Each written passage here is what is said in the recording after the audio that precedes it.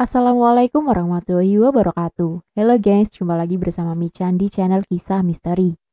Kali ini Michan akan menceritakan cerita baru ya gengs, yang berjudul Kisah Pelaku Pesugihan yang Berakhir Menjadi Tumbal Nyi Roro Kidul. Cerita ini diambil dari laman Ed Pesugihan, dan kalian bisa langsung ujung halamannya ya gengs. Link akan Michan sediakan di kolom deskripsi. Oke, daripada lama-lama langsung saja kita masuk ke ceritanya. Kisah pelaku pesugihan yang berakhir menjadi tumbal Nyi Roro Kidul. Sudah beberapa hari ini Laras sepi pelanggan, padahal bisa dibilang dia adalah wanita paling favorit di motel ini. Namun titel itu sepertinya sudah direbut oleh anak baru ingusan yang baru saja bergabung dengan motel ini, Siska namanya. Laras sendiri mengaku kalau Siska punya paras yang teramat cantik sebagai seorang PSK Mulut licin Siska yang pandai merayu itu semakin melengkapi kelebihannya. Lara sebal, bukan hanya anak baru itu terlihat songong, tapi ia hampir mengambil semua pelanggan Laras karena kehadirannya.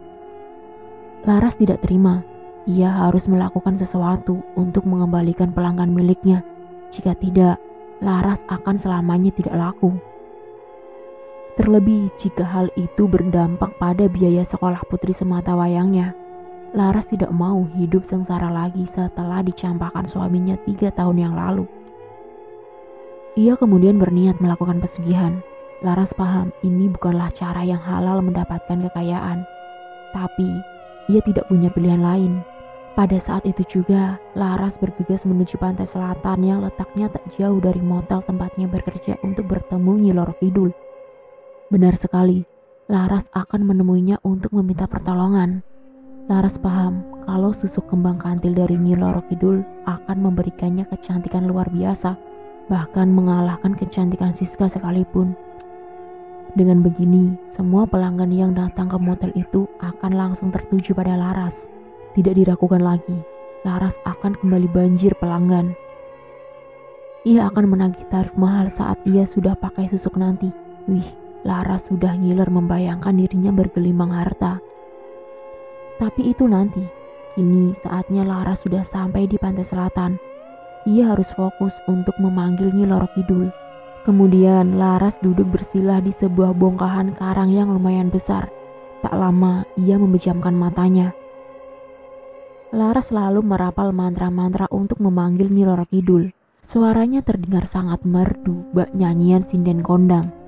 Tiba-tiba muncul suara hembusan ombak yang kencang. Laras menjadi deg-degan. Mungkin itu adalah Nyi Roro Kidul yang sudah datang. Namun ia tidak mau gegabah. Laras tetap menyanyikan mantra itu sampai selesai. Setelah itu, bersamaan dengan selesainya mantra, hembusan ombak itu menjadi tenang dan berganti dengan hembusan angin yang lembut. Perlahan, Laras membuka matanya dan benar dugaannya, di depannya telah muncul sosok Ayu Nyi Roro Kidul. Laras benar-benar terpukau atas kecantikannya. Ia memakai baju khas Jawa lengkap dengan selendang hijaunya. Nyi Roro Kidul juga terlihat anggun dengan kereta kencana yang dinaikinya. Ada perlu apa kau memanggilku? Tanya Nyi Roro Kidul dengan suara bergema. Laras buru-buru bersujud. Ia merasa telah berbuat salah. Maafkan saya telah lancang memanggil Nyai. Tapi saya ke sini untuk meminta pertolongan. Laras terbata-bata menjawab Nyi Roro Kidul sambil bersujud di hadapannya. Katakan apa yang kau inginkan, katanya. Laras kemudian mendongakkan kepalanya sambil menelungkupkan kedua tangannya. Ia memohon kepada Nyi Roro Kidul. Saya mohon untuk diberikan susu kantil, Nyai. Saya sedang sepi pelanggan sekarang. Sedangkan saya harus menghidupi saya dan anak saya satu-satunya, kata Laras memelas. Baiklah, aku akan menuruti permintaanmu. Ambil kembang kantil yang ada di balik karang itu dan makanlah kembang itu sebelum berangkat ke motel, kata Nyi Roro Kidul. Baik Nyai, terima kasih banyak. Laras bersujud kembali di hadapan Nyi Roro Kidul. Tapi kau harus siap aku panggil kapan saja sebagai tanda terima kasih kepadaku. Imbuhnya. Laras yang tidak sepenuhnya mengerti perkataan tersebut segera mengangguk. Kemudian Nyi Roro Kidul mengangkat tangan dan menunjuk di balik karang itu. Laras langsung turun dari posisinya dan mendatangi tempat yang ditunjuk Nyai tadi. Benar saja, di situ sudah ada kembang kantil yang dikatakan Nyi Roro Kidul. Namun saat ingin mengatakan terima kasih, Laras sudah tidak melihat lagi sosok cantik itu. Setelah pertemuannya dengan Nyi Roro Kidul, hidup Laras jadi semakin sejahtera. Hampir semua pelanggan mengantri untuk menikmati pelayanannya. Bahkan, berkat susu kantil yang dipakai Laras, motel tempatnya bekerja menjadi sangat ramai, terlebih saat akhir pekan. Namun kejayaan Laras ternyata tidak bertahan lama. Pada suatu sore, ia bertemu pelanggan aneh yang mengubah total kehidupan Laras. Pelanggan itu bernama Sony. Pada mulanya, ia terlihat biasa saja, tapi lama-kelamaan Sony terlihat aneh. Apalagi ketika ia menemui Laras di kamar yang jadi tempat biasa Laras menunggu pelanggannya. Begini-begini, Laras juga pernah nonton film. Tatapan mata Sony saat itu terlihat menakutkan. Hampir mirip seperti psikopat yang digambarkan di film-film. Namun Laras harus tetap profesional. Sebenarnya bisa saja dia mendepak pria itu keluar kamar karena sekarang dia sudah menjadi ratu motel ini. Tapi sayangnya ia tak mau kehilangan pemasukan sepeser pun.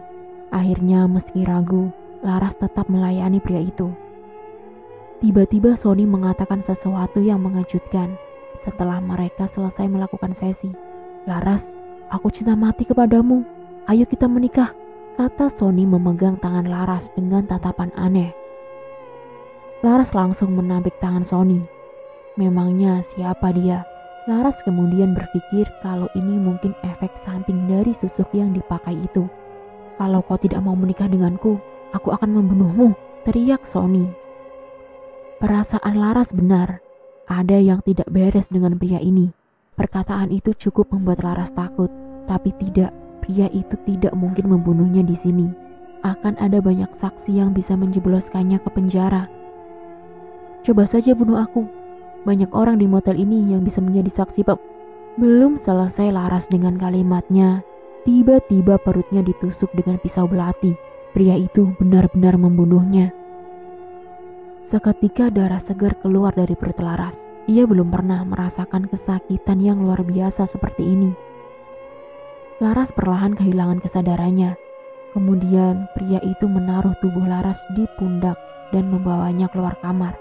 Laras yang lemah dan tak bisa menggerakkan badannya itu tak bisa melawan. Namun, ia samar-samar masih dapat melihat keadaan sekitar. Ternyata di motel itu tidak ada siapa-siapa, ke mana pemilik motel dan teman-temannya. Belum selesai terjawab pertanyaan itu, Laras tiba-tiba mencium bau khas air laut.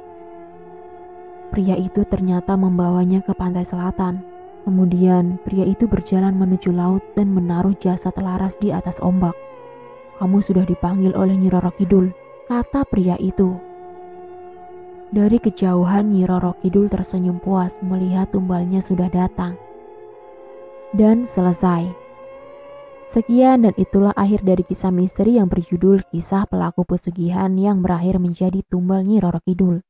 Di sini Michan cuma mau mengingatkan ya gengs, ketika melakukan sesuatu hal apa pun itu, jangan memakai jalan pintas. Semua rezeki itu sudah ada yang mengatur. Terima kasih Michan ucapkan untuk kalian yang sudah menonton video kali ini. Dan tak lupa Michan ingatkan untuk tekan tombol like, komen, share, dan subscribe ya gengs. Dan tekan juga tombol lonceng untuk mengaktifkan notifikasi cerita yang selanjutnya. Bye-bye, wassalamualaikum warahmatullahi wabarakatuh.